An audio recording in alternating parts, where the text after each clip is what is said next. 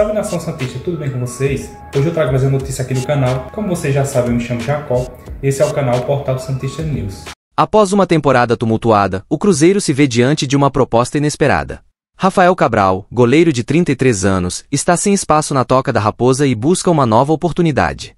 O Santos, por sua vez, considera a possibilidade de trazer de volta um velho conhecido, o menino da vila Rafael Cabral. A história de Rafael com Santos remonta ao triunfo na Libertadores de 2011, ao lado de nomes como Neymar e Ganso. Apesar do interesse inicial do Santos em seu retorno, o goleiro optou por permanecer no Cruzeiro, onde possui contrato até 2025. Contudo, as coisas não têm corrido bem para ele em Belo Horizonte. Após algumas falhas em jogos importantes, Rafael viu-se fora dos planos da equipe celeste. Agora, uma proposta de troca entre o Santos e o Cruzeiro está sendo discutida.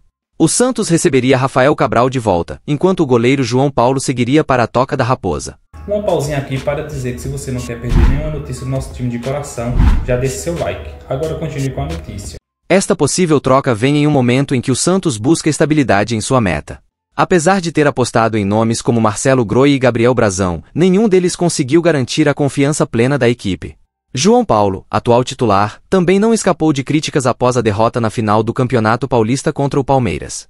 Enquanto isso, Rafael Cabral, formado nas categorias de base do Santos, tem um histórico vitorioso com o clube, conquistando títulos como o Tricampeonato Paulista e a Libertadores de 2011.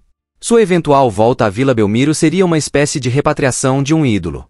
A negociação ainda está em fase de análise, mas, se concretizada, promete movimentar o mercado da bola e trazer de volta um rosto familiar aos torcedores santistas.